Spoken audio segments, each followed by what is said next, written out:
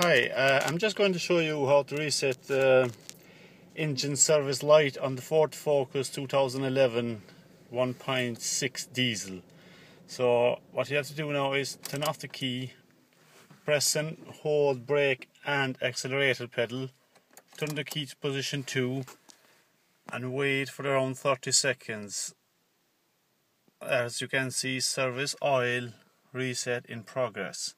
So just keep it on for 30 seconds that'll tell you the service oil reset completed.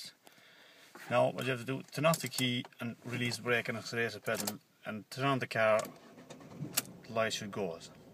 There we are, thank you.